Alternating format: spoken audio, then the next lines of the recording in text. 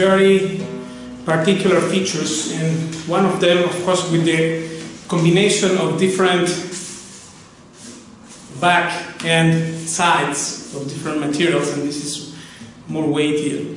And is, of course, the pair with the other guitar, which I will post at the description, the first link, because this here sounds more like a Negra. Although this is very uh, also mid-range frequency thing.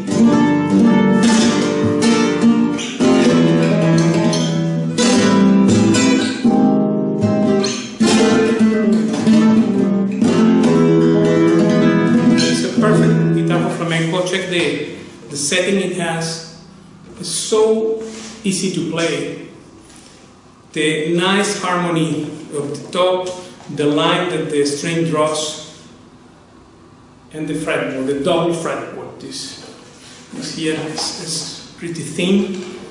And of course, this thing here is, is such a marvelous stuff there because then you can combine two different sounds with these eight braces, these eight fans it has inside.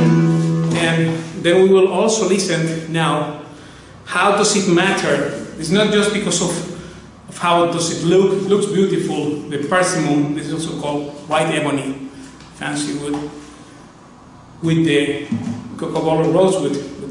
That is the external back, and the internal back is made of Brazilian rosewood. And this here you can see also with the thickness of this thing with this detail here. But the back does it matter. Torres said that the top is only what matters in a guitar. But that's not true.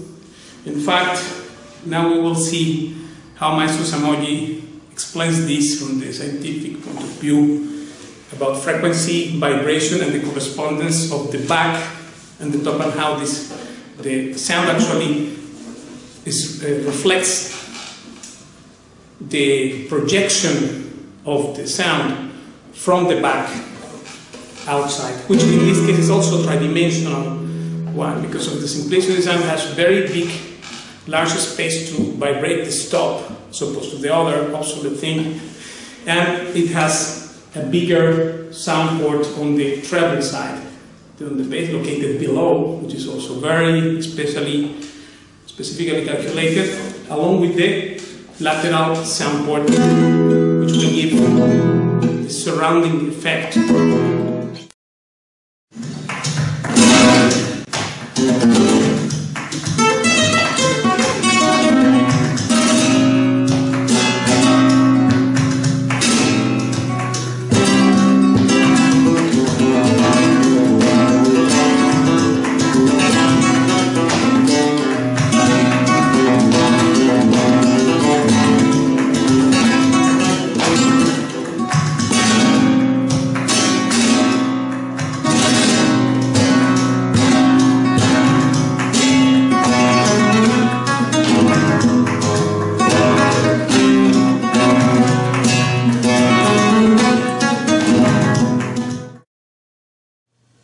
Watch this.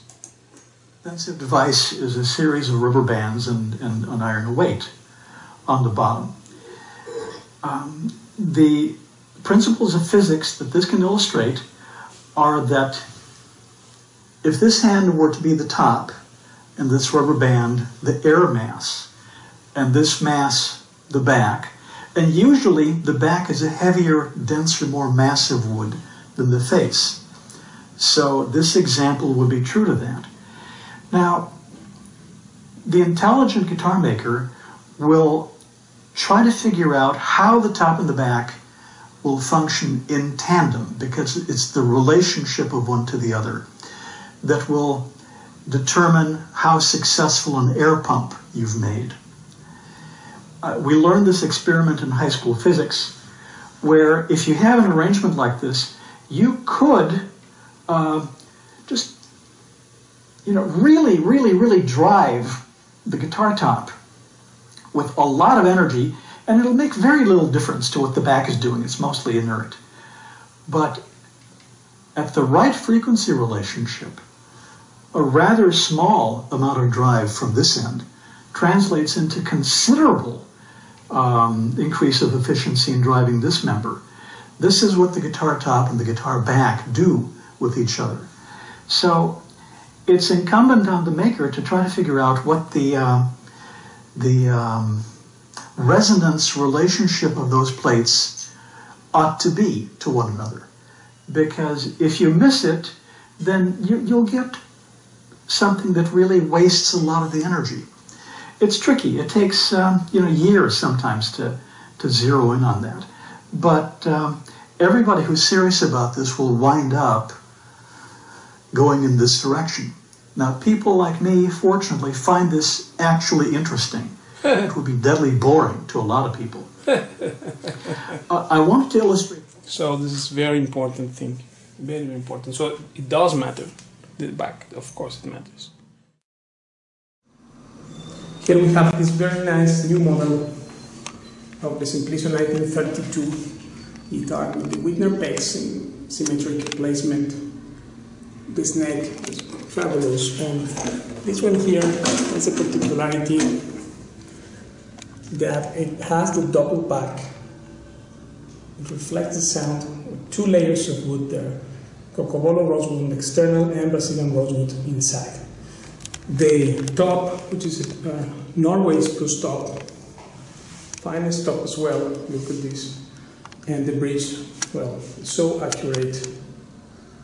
This bridge is a flat bridge of Cremona maple. The fretboard is of Ibert's maple and Wittner pegs could not be missing. This is a fantastic way of tuning with the zero fret and everything. It has solid fretboard, of course. And the sides are of persimmon. So this is a very nice, nice combination